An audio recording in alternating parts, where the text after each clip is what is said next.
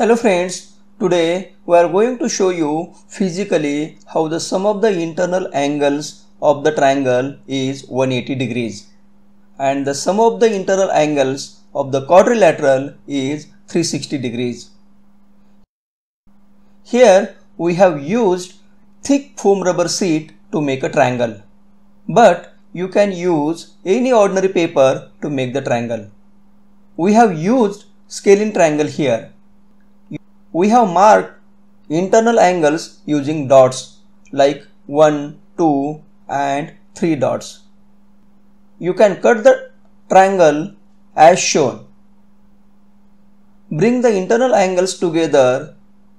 You can see the addition of the angles represented by the dots 1, 2 and 3 are 180 degrees. Here we showed that all the three angles align in a straight line PR.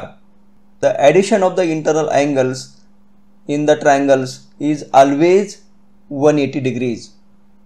Even if you rearrange the triangle pieces, you will get 180 degrees, which is a straight line. You can try it with any other triangle like equilateral or isosceles. Now next we have to prove the sum of the internal angles of the quadrilateral is 360 degrees. The dots on the internal angles of the quadrilateral have been marked here. Cut the quadrilateral into four pieces. Dots on each pieces showing the internal angles of the quadrilateral. Arrange the four internal angles of the quadrilateral as shown. Here you can see the addition of the all four internal angles in the quadrilateral is 360 degrees. You can rearrange the pieces of the quadrilateral and show the addition of the internal angles is always 360 degrees.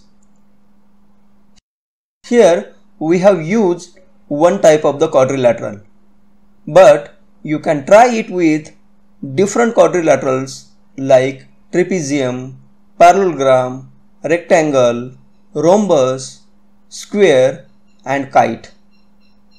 I hope you like these activities and you can try them at your home and show to your friends. Thank you very much.